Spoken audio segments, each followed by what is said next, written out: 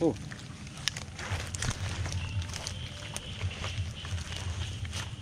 Nih kan nih. Wah, mantap banget rasanya. Hmm. mantap banget. Asli. Siang itu, kami memenuhi undangan dari subscriber kita, Mas Dian Emo.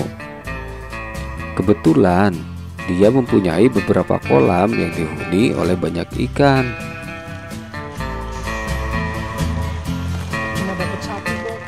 Ingin tahu bagaimana keseruan kita saat berkunjung ke kediaman Mas Dian? Jangan di skip video ini, tonton sampai selesai. Namun sebelum itu jangan lupa like, share, komen, dan subscribe jika kalian suka dengan konten-konten kami. Selamat menyaksikan.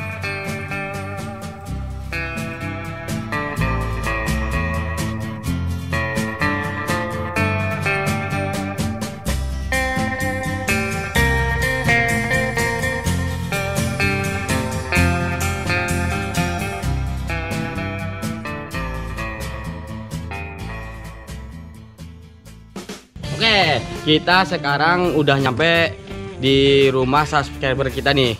Di rumahnya Bang Dian. Kita langsung aja yuk ke rumahnya. Gimana sehat? Alhamdulillah bro. Nah, ini yang mau kita bicarain, Bang Dian. Gimana? Udah pada siap? Siap dong, kita mau mancing di mana nih? Lokasi, lokasi, lokasi yang bagus di sini katanya. Bang Dian lokasi di sini bagus buat mancing nih. Bagus, depan ada, belakang rumah ada kan. Ah, ikannya apa aja nih? Jair sama bu- gabus. Bang Gabus. Gabus Wah, ada, betok ada. wah, boleh nih. Kita mau mancing aja. Kita mau yang depan apa? Yang belakang dulu lihat ya. Terserah- anda. Oke, let's go yuk. Ayo.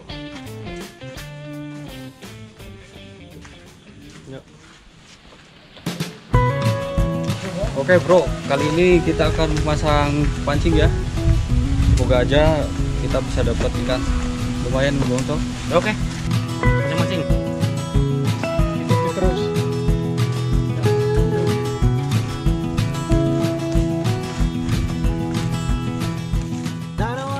Kata Mas Dian, di sini banyak terdapat ikan betok, sepat, dan gabus. Jadi, kami memilih lokasi ini untuk memasang beberapa buah pancing yang akan kami tinggalkan 2 sampai 3 jam lamanya.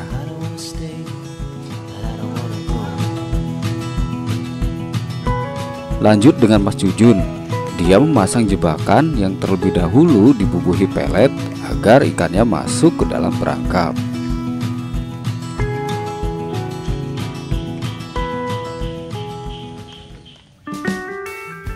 Sambil menunggu pancing dan jaringnya, kami pun mancing di kolam yang lain. Alhamdulillah, kita pun mendapatkan beberapa ikan di sini. Ush, mantap bro. Kita dapat ikan nih. Ush, anjing. Gila bro, eh. Hesh. Kita dapat ikan mujair.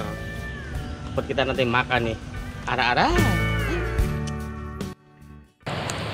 Berhubung cuacanya nggak mendukung ya, hujan sudah mulai turun. Kita berteduh dulu.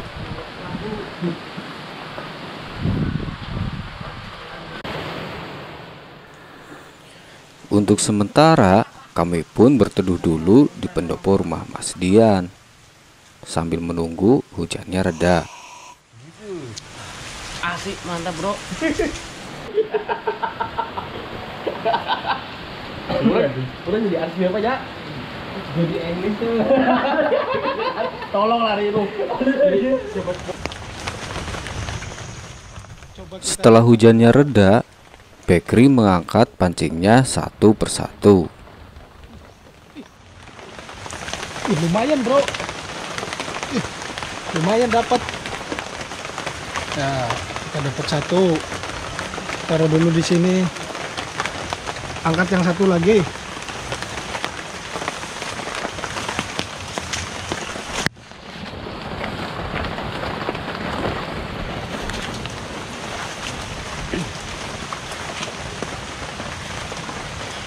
wah Yang ini nggak dapat bro, cuma habis ikan umpannya doang.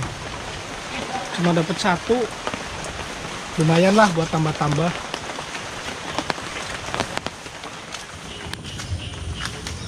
Sekarang kita mengecek jaring yang kita pasang tadi.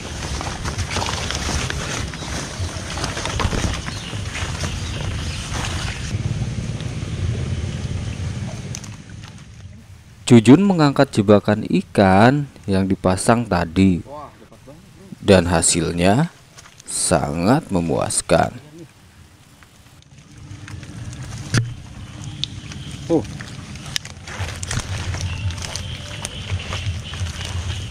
Uh, mantap nih kita makan bareng kawan-kawan. Oke, let's go. Kita langsung aja di rumah ikannya.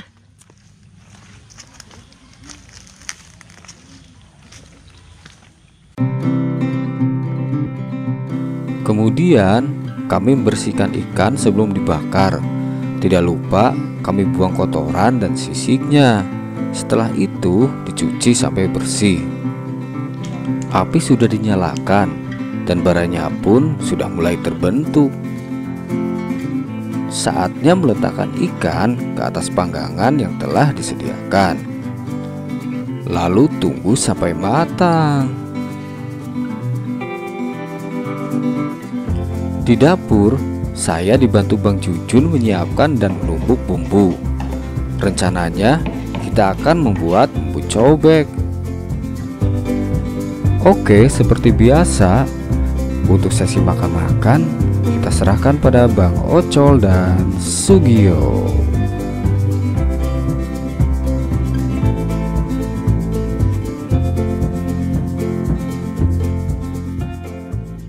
Kita bersama Bang Gio nih. Kita siap makan Bang Gio, oke? Oke, siap. Aduh, aduh, aduh, aduh, aduh, aduh. Udah, udah, udah, udah, udah, udah. Makan, makan, makan. Ini nih, yang dari nikah nih. Wah, mantap banget nih rasanya. Hmm. Mantap, mantap, asli. Nikmat, nikmat. Hmm. Sama sambelnya, wah luar biasa adik-adik nih. Hmm. Hmm. Hmm. Mantap ya. Hmm. Cobain, cobain. Mama, terima kasih nih Hmm. sama Bang Dian. Hmm. Enak, enak. Cobek. Nice, nice. Hmm. Hmm. Hmm. Asli. Hmm. Kalau mau seperti Bang Dian, komen aja langsung. Insya Allah saya pas- pasti akan datang.